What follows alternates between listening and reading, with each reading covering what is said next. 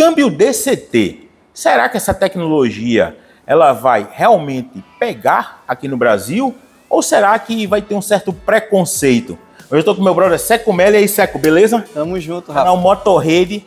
O bom de a gente fazer um bate-papo com o Seco é porque ele testa todas as motos está sempre por dentro do segmento do mercado. E essa tecnologia que a gente pôde testar do DCT, a gente vê que é uma tecnologia que traz um público novo para o segmento de moto, né? Exemplo, eu estou aqui por conta da, do papo de scooter uhum. e o segmento de scooter, um dos atrativos principais é o ser automático e não passar marcha. Uhum. Então, o DCT eu vejo que ele vem para somar. Mas eu sei que já deve gerar dentro do mundo sem ser. O disputa já é normal a gente utilizar a moto automática. Uhum. Mas dentro do mundo das motos convencionais, eu acho que vai gerar um pouco daquele mimimi. Ah, não, o gostoso é passar marcha. O que, que você acha? O que, ou será que você acha que não, que o DCT ele vai se popularizar? O que, que você vê aí como essa Cara, tecnologia? Eu vejo que é uma tecnologia muito boa. Eu sou entusiasta do DCT, porque depois que tu anda com o DCT, mas anda mesmo para valer, faz uma viagem, alguma coisa, tu entende a funcionalidade dele e a praticidade dele. Mas o principal item do DCT é a segurança. Sim. Ninguém percebe. Isso. Por quê?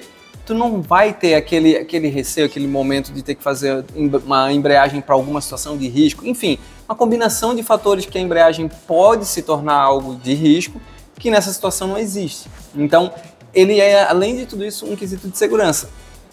Mas tem esse, esse estigma de que é necessário trocar a marcha, trocar o manete de embreagem, trocar o pedal de marcha, de câmbio, trocar a marcha. É, tem esse estigma que é necessário. Então, isso vai se quebrar com a nova geração. Sim. Apesar de que a NC é uma moto para ser vendida para um público acima de 40 anos, Isso. né? Mas essa nova geração que eu digo não é só de pessoas, é a nova geração entrante. Sim. Que entra pela scooter. Isso. Então a galera começa na scooter um câmbio CVT um pouquinho diferente, aquelas as correias ali que vai correndo para um lado e para o outro, enfim. E aí ele quer algo maior, algo mais completo, ou ele quer uma moto, mas Sim. ele não tem experiência, ele entrou no mundo de scooter, ele não tem experiência com a embreagem, por exemplo. O que, que ele vai fazer? Ele vai entrar para o DCT. É, e eu vejo às vezes não é só a experiência, a experiência realmente faz, faz todo sentido. Uhum mas eu vejo também como a praticidade realmente. É, Exemplo, a gente que usa a scooter no dia a dia até para viajar, uhum. a gente já se acostuma com essa praticidade, ah. não tem que passar marcha. Tipo, passar marcha, para quem tá acostumado, exemplo, você que anda de moto Sim. convencional, tá acostumado, então. Mas quando você de repente pega uma moto é, automática e você começa a se acostumar, você vê que realmente essa praticidade é legal. É. Por isso que eu vejo que o DCT é uma coisa muito, assim, muito importante de, de é, essa tecnologia se popularizar. De se popularizar. E o que eu acho muito legal é o fato de que não é uma, só como se fosse uma scooter. Por quê? Pode trocar marcha. Sim. E o lance de trocar marcha na borboletinha ali na mão, no botãozinho, ah, é porque não tem nada a ver com o pé, não sei o que. Cara, é muito legal. Quando Sim. tá fazendo uma pilotagem esportiva, igual a gente fez aqui na Serra de Gramado, acelerando e tal. Cara, tu dá um toque, ela desce uma marcha, desce duas marchas, o motor enche, pressa, depois tu, ah, agora eu vou deixar o motor de boa, tu sobe a marcha de novo. Entendeu? Não precisa deixar o tempo todo no automático. Tu tem o controle da moto. Sim. E isso que é legal. Por quê? Porque tu não precisa pegar, botar uma embreagem, acionar o pé. Não. Tu faz tudo isso de forma automática mesmo. Ela trocando sozinha, tu trocando com a mão, mas ela sempre entendendo a moto, a condição que tu tá andando, a forma de pilotagem que tu tá fazendo e a região onde tá andando, subindo, descendo, enfim. Então eu vejo que isso não é só praticidade, não é só frescura, sabe? Não é só Sim. algo básico. Não, é um complemento da pilotagem e uma forma diferente da gente Exato. pilotar moto. E, e, uma coisa que é legal, assim, a gente observar. Será que, o que você acredita? Que essa tecnologia ela vai se estender para outros modelos? Ou será que a Honda vai trabalhar apenas a NC? E se outras marcas também, será que tem uhum. o interesse de trazer essa tecnologia de deixar as motos automáticas? O que, é que você acredita aí no futuro? É, eu vejo que as outras marcas não têm interesse por conta do custo de Sim. fazer um projeto. Desenvolver tem, do zero, é, né? Tem uma marca outra que já tem, já teve até no passado também, então eles já tiveram um projeto, acho que eles não têm interesse mesmo do custo de ter que fazer isso e aplicar. Eles estão deixando a Honda indo abrir caminho. Com certeza vai é, estar presente em outros modelos ao longo do tempo, isso aí é, é unânime, já até próprio dentro da, da estratégia da Honda mesmo, porque eles focam é, eles estão com aquela meta de não ter mais acidente, acidente fatal até, até 2030. 2000, não, 2030 ou 2050? 2050? É, eu acho é 2050, é 2050. É, eu não sei se é 30 ou 50, é. fiquei com 30 na minha cabeça. Mas enfim, até um certo prazo. E o DCT ele colabora para isso, para positivo, para não acontecer acidente. Então, com certeza, ele vai estar presente em outros, outros modelos de motos da Honda. Eu só não sei se vai chegar nas baixas cilindradas, por conta do custo Sim. mesmo, né? A gente tem um, um, um câmbio de dupla embreagem, então são é, mais peças ali dentro do motor para dar mais manutenção. Então, quanto mais baixa a cilindrada, mais custo vai ter, acaba vai perder na balança, digamos assim, né? Mas ali de média para alto, acredito que até umas 400 cilindradas ele deve chegar né? Nessa forma, até talvez ali 300, não sei se ele, se ele chegaria aqui para o nosso mercado, mas até 400, 500 com certeza. Então, e esse ponto foi interessante que você puxou, porque a gente também vê o mercado de scooter crescendo muito, uhum. principalmente na baixa cilindrada. Sim. De repente, as marcas começam até investir no segmento de scooter Sim. na baixa cilindrada e deixa a baixa cilindrada com scooter e começa a investir em novas tecnologias para média e alta cilindrada. É, a gente até foi no Salão de Milão ano passado, né, lá na Itália, e lá a Honda já lançou uma evolução do DCT, ou na verdade ele está entre o manual e o DCT, que é o E-Clutch. Sim. Que é um câmbio que ele é automatizado, mas ao mesmo tempo trabalha junto com o manual.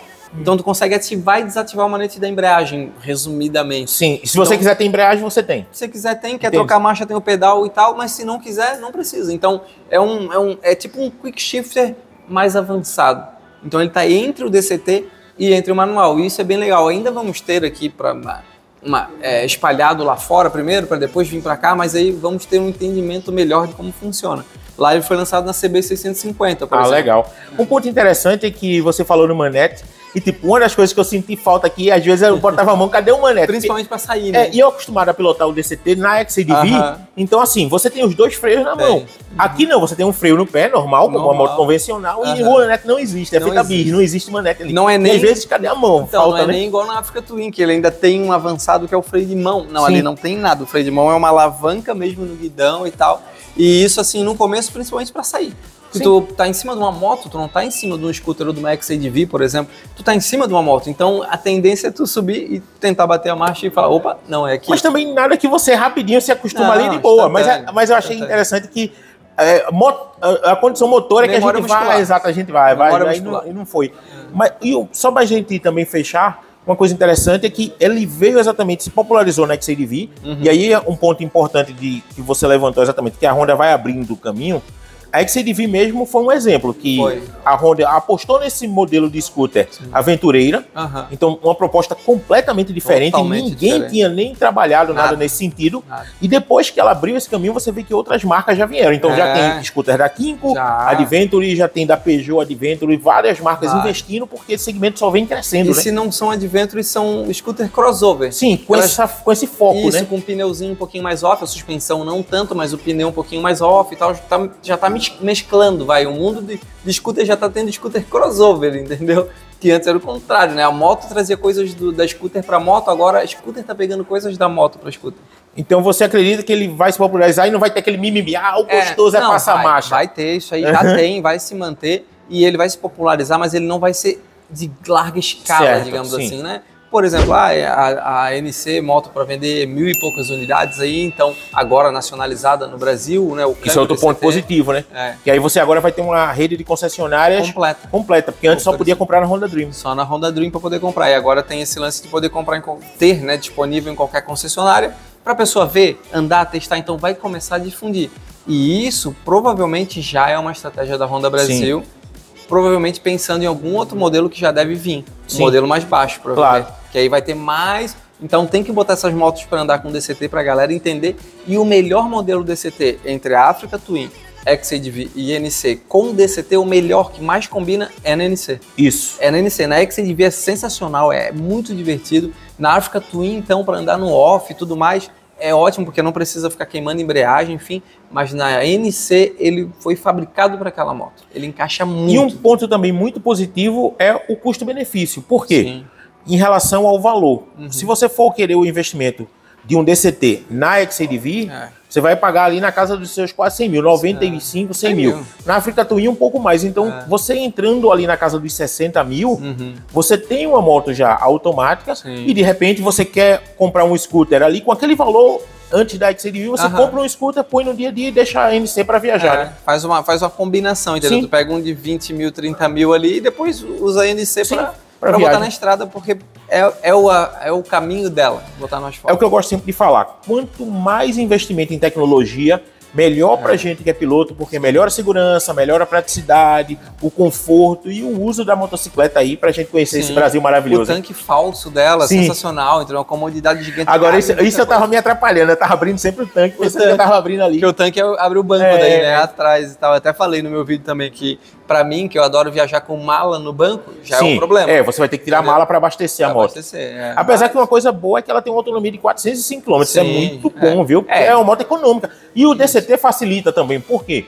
Quando você troca a marcha ali, você às vezes vai ter um, vai. É, vai perder um pouco. Manualmente. E ali não, perde. ele é automático. Ele percebe o modo certa. de condução e ele troca automaticamente a, Na hora certa. Eu andei no modo esporte o nosso rolê. Eu todo. andei também. E aí a minha, a minha economia de combustível ficou em 23 e pouco ali, entendeu? Tu chegou a colocar 7. no modo chuva?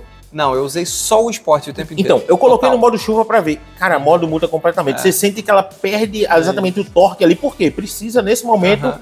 ela entender controle o terreno e controlar. Cara, é, muito legal. Por isso que é muito legal você ter uma tecnologia que vai auxiliar, principalmente na parte da é. segurança. E é assim, é o que eu digo, né? É uma moto. É diferente do scooter, onde tu vai ter algum, pode ter alguma tecnologia, mas é voltada para outras coisas. Né? Conectividade, enfim.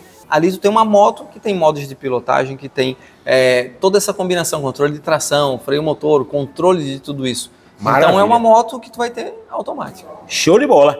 Então, se você quiser conhecer mais um pouco dessa tecnologia, confere os vídeos lá do Seco. Também vai ser, com certeza, um rolê muito legal, porque você vai ver diversas outras visões, opiniões, né? opiniões. Então, tem uma galera massa produzindo conteúdo. Então, a gente fez um rolê muito legal aqui com o MC. Você tem o câmbio DCT aí já crescendo aqui no Brasil e tomara que essa tecnologia chegue a outras Sim. motos e outras marcas também invistam, porque... O preço dessas motos fica mais barato claro. ter, Até de entendeu? repente eu até comentei no meu vídeo que pode ser que o DCT sendo fabricado no Brasil, quem sabe a XADV também começa a ser montada aqui. É, pode, pode ser, ser. Mas, mas isso não barateia. Não barateia. Não, não tem, não, não barateia, A única estratégia da Honda de trazer para o Brasil é isso. É para conseguir expandir a rede de concessionária. Para conseguir expandir, porque o preço e o custo é o mesmo. É praticamente o mesmo. É o mesmo, é a mesma coisa. É que aqui ela não é fabricada, ela é montada, né? Então aqui, porque tem que ter um know-how grande para saber montar um câmbio de dupla embreagem e tudo mais lá dentro da fábrica. Então vem as peças, eles vão começar a fundir as peças também na fábrica aqui, né? O que pode fundir, e vão começar meio que montar aqui. Então isso vai fazer eles ter o poder de fazer a Sim. quantidade de moto que eles precisam para abastecer o mercado. E aí eles podem tirar da Honda Dream, porque na Honda Dream são as versões importadas. E ali não, ali pode distribuir em qualquer loja. Então, meu amigo, não tem jeito não. Trabalhe para comprar um XCDV, porque baratear não vai não. Não vai não. É certo, meu velho? Muito obrigado aqui por participar do Valeu, nosso quadro. Muito junto. legal vamos rodar, porque com certeza você vai curtir bastante a sua motoca. E se for um scooter, vai ser muito melhor. Vai, vai ser Eu ótimo. prefiro a scooter. Eu prefiro a que você divide. Ah, pronto. Valeu, galera. Então, muito obrigado por ter Falou, assistido galera. mais esse vídeo. E até o próximo. Já se inscreve lá no Motorrede também e confere todos os vídeos da galera que produz um conteúdo muito legal. Um abraço. Valeu.